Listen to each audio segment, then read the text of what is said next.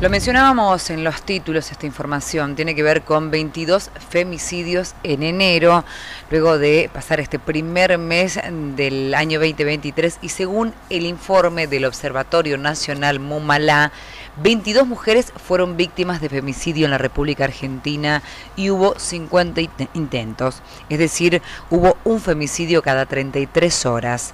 De estos, 19 fueron directos, uno estuvo vinculado a una niña, otro a un niño y otro a un transvesticidio.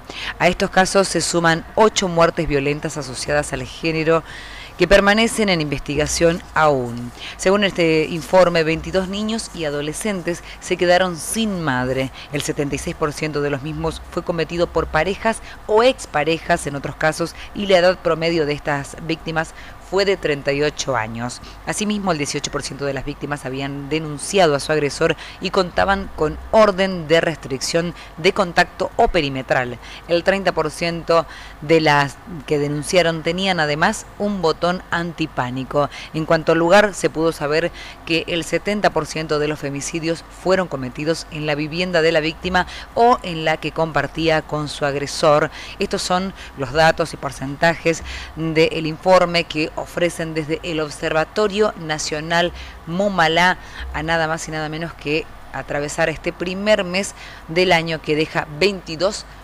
femicidios en la República Argentina.